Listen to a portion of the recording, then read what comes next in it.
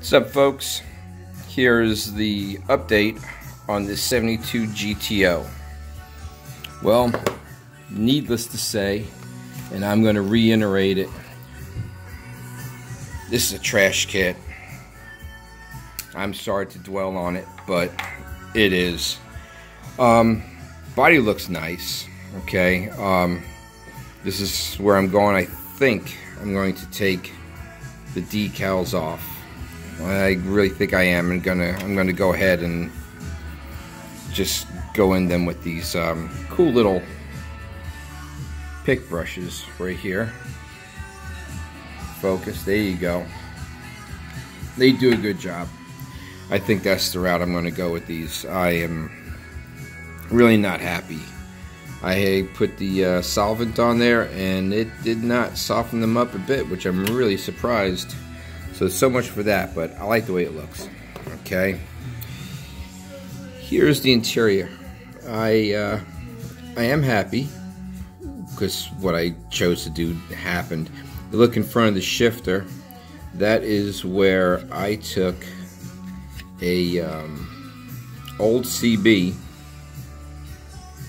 See if I can zoom in on that.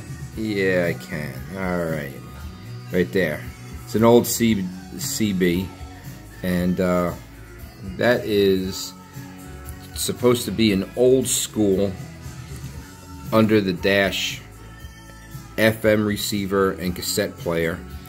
Uh, what I use for cassette tapes is, you know, on some of the sprues in the corner, like in the corner over here or elsewhere, they'll have like a little tab with the part number on it. So that's what those are and I made them into tapes. Here's my engine. Came out looking good. And um, decided not to use whatever this is. It's part of the air intake. It goes um, around the carburetor underneath the air cleaner according to the directions. Uh, but there's no place to firmly um, secure it onto the engine here's my uh, chassis so far. I still got to drill my holes for my screws. And I decided to go with the with the center lines as opposed to the turbines. Here's how the turbines came out. And you know, the sprues are so thick, it just cut a chunk out of them. But I'm holding on to them. So this is as far as I've gotten. Um, I'm going to go to work on the body, take those decals off, and um, go ahead and pick them out and um, put my headlights on and put my grill in there and um, maybe I'll get the clear coat it tonight. I'm not too sure. I thought I'd be able to whip this out this weekend, but uh, I, I don't want it to be a complete trash. I mean, it wasn't going to build it pretty. But um, I just I want it to go together right.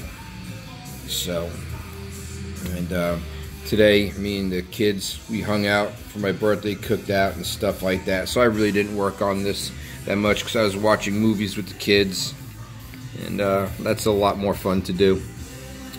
So you guys take it easy, be safe, and I will see you with the next update.